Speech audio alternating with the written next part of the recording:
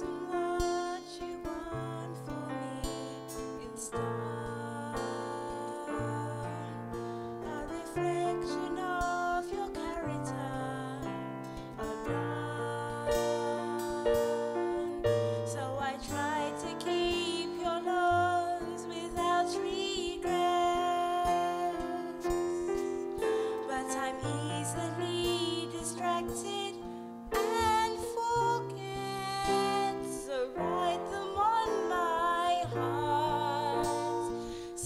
over me.